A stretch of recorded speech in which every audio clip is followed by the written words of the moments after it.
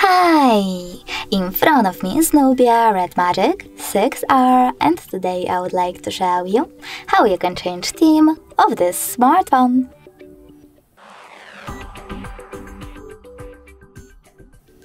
First of all, you need to click on Devices Settings and scroll down just a bit.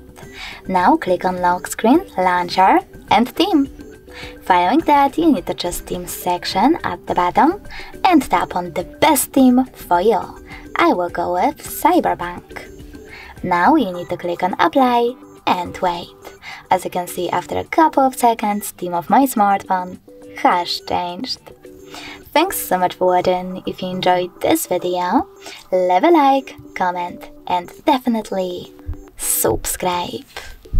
Bye!